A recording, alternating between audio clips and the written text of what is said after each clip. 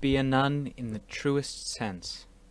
You don't want to spoil your vocation by mingling with the foul-smelling grit of worldly life, so don't glance back, longing for your home and family. Stirring up a hornet's nest. Little Kaew spent the rainy months working around the house and playing with her cousins. She was a happy, cheerful girl, but she missed her mother's calm and comforting presence, she worked hard to please her father, Bunma, but he often appeared distracted by some inner turmoil. He frequently left home in the morning and did not return until late at night. On lunar observance days, Kaew followed the womenfolk to Wat Nong Nong and joined her mother for daily chores, chatting incessantly about life at home. What she said worried Mae Chee Kaew. Her husband's regular disappearances were unusual, and from what Kaew described, he seemed to be intoxicated when he returned. Mae Chee Kaew decided, for her daughter's sake, that she should visit home occasionally to help with the housework and to keep an eye on the situation. Entering the house, her husband's absence was the first thing she noticed. Mae Chee Kaew spent whole days cleaning, laundering, and cooking for her daughter, but Bun Ma never appeared. During the last month of her retreat, Mae Chee Kaew went home once a week, but she never once caught sight of him.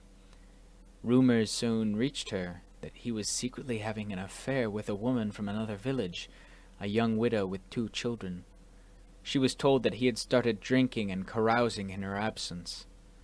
Mae Chee Kaew was repelled by her husband's behavior. Now weary of her marriage and wishing to make the noble path her life, the thought of returning home was unbearable to her. While Mae Chee Kaew was morally obliged to keep her word, her husband's failure to adhere to the fundamental rules of moral conduct jeopardized the future of their marriage. As the retreat approached its final days, Mae Chee Kaew agonized over her next course of action. She felt no desire to return to married life, but she was deeply concerned about the well-being of her daughter. She wanted to remain close to Kaew, to guide and comfort her, but at ten years of age, Kaew was still too young to live at the monastery with her mother, Besides, having renounced all worldly possessions, she had no means to support a child, but only the meager daily rations sufficient to sustain one person. Slowly, following several weeks of deliberation, the idea took shape in Mae Chee Kaew's mind that she could combine both the household and the monastic worlds into her daily life. By spending her daylight hours at home being a mother and a wife, she could fulfill her worldly obligations, by passing her nights at the monastery, absorbed in meditation, she could pursue her spiritual goals. As unorthodox and unrealistic as the scheme seemed, she was willing, even desperate, to try it.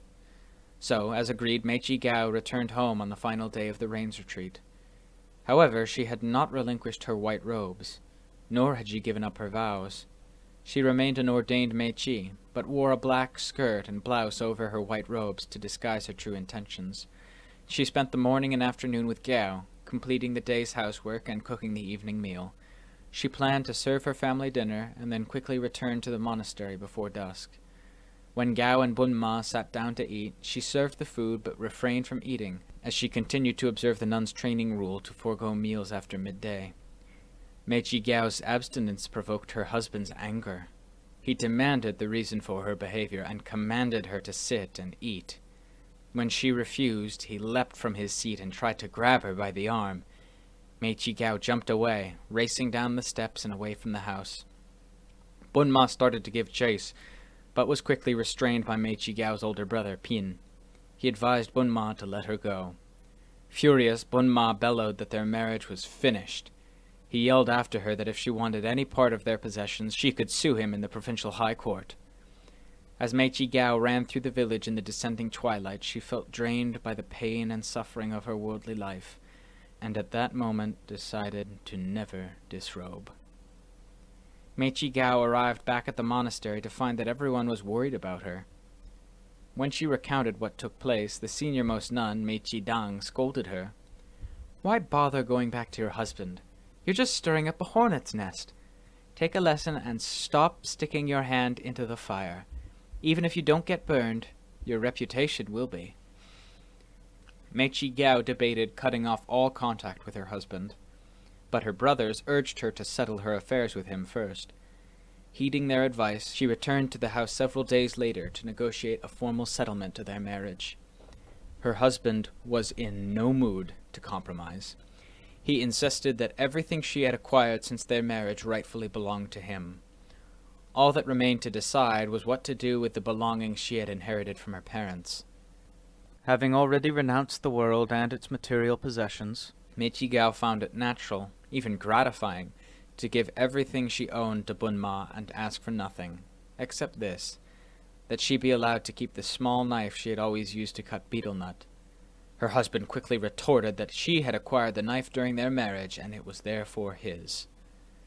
With that final dismissal, Mae Chee Kaew completely turned her back to domestic life and relinquished all worldly possessions without exception. Having finalized the agreement, Mae Chee Kaew spoke privately with her daughter. Carefully and in detail, she told little Kaew about the events reshaping their lives and asked for her patience and understanding. Learning of her mother's intention to leave home for good, little Kaew pleaded with a childish innocence for the chance to accompany her mother and live with her at the monastery. With a heart heavy with sympathy, Mae Chee Kaew described the austere conditions of a nun's life. She explained that since she had now given everything to her father, she had no means to adequately support her daughter. Besides, the monastery wasn't a place to bring up a child. Gently, but insistently, Mae Chee Kaew urged the child to remain with her father for the time being. She explained that Kaew's father had the resources to look after her needs, and reassured Kaew that his wealth and property would be her rightful inheritance. When Kaew reached maturity, she could, if she still wished, live with her mother. Mae Chee Kaew would welcome her with an open heart and be her spiritual guide and companion for life. Reluctantly, but obediently, Kaew finally accepted her mother's urging to remain with her father. Mae Chee Kaew walked back to the monastery in a quiet and pensive mood, replaying the pros and cons of her decision to permanently separate from her family and friends.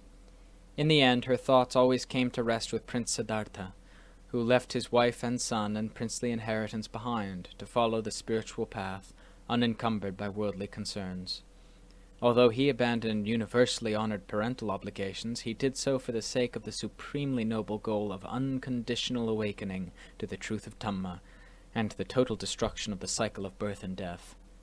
Becoming a fully enlightened being, the Lord Buddha's achievement transcended all mundane sacrifices and all worldly conventions. Having freed himself from suffering, he had helped countless living beings do the same. With the ultimate goal of the holy life clearly and unalterably fixed in her mind, Mae Chee Kaew was inspired to follow steadfastly in the Buddha's footsteps.